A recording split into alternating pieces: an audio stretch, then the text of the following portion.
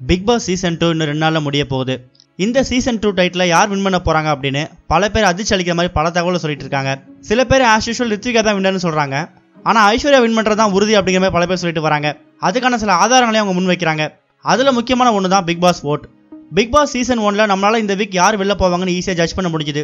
அதுக்கேற்ற மாதிரி தான் அவங்க வெளில போவாங்க. ஆனால் சீசன் டூவில் யாராலையும் இது வரைக்கும் கரெக்டாக ஜட்ஜ் பண்ண முடியல.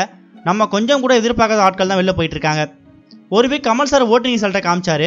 இது வரைக்கும் எந்த பிக் பாஸ்லையும் அப்படி காமிச்சதே கிடையாது. மக்களை சமாதானப்படுத்த தான் கமல் சார் ஓட்டிங் ரிசல்ட்டை காமிச்சார் அப்படிங்கிறது ஒரு பக்கம் கருத்தாக இருக்குது அதே நேரம் ஃபைனலில் யார் யாருக்கு எவ்வளோ ஓட்டு வாங்கிட்டு வராங்க அப்படிங்கிறதையும் இப்போ டிவியில் லைவாக காமிக்கிறாங்க. இதில் ஃபஸ்ட் பிளேஸில் ரித்விகா செகண்ட் பிளேஸில் ஐஸ்வர்யா தேர்ட் பிளேஸில் விஜயலட்சுமி ஃபோர்த் பிளேஸில் ஜனனி இருக்காங்க.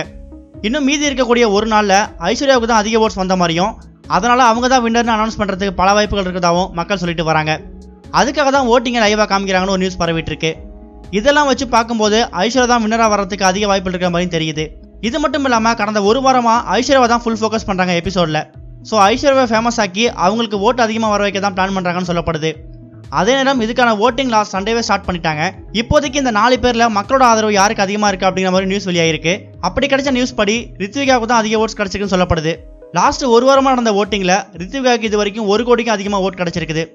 ரித்விகாவுக்கு அடுத்தபடியாக ஐஸ்வர்யாவுக்கு தான் அதிகப்படியாக ஓட் கிடைச்சிருக்குது. மூணாவது பிளேஸில் விஜயலட்சுமியும் நாலாவது பிளேஸில் ஜானியும் இருக்காங்க. இன்னும் ரெண்டே நாள் இருக்கிற நிலையில ரித்விகாவுக்கும் ஐஸ்வர்யாவுக்கும் இடையில பெரிய போட்டி நடந்துகிட்டு இருக்கு. என்னதான் ரித்விகா ஒரு கோடிக்கும் அதிகமாக ஓட்டு வாங்கினாலும் ஐஸ்வர்யாவை தான் ஜெயிக்க வைக்க போறாங்க அப்படிங்கிறது பல பேரோட கருத்தாக சொல்லிட்டு வராங்க. இதை பற்றி நீங்கள் என்ன நினைக்கிறீங்கன்னு உங்களோட கருத்துக்களை கமெண்ட்டில் போஸ்ட் பண்ணுங்கள் இந்த வீடியோ உங்களுக்கு பிடிச்சிருந்தா லைக் பண்ணுங்கள் ஷேர் பண்ணுங்க.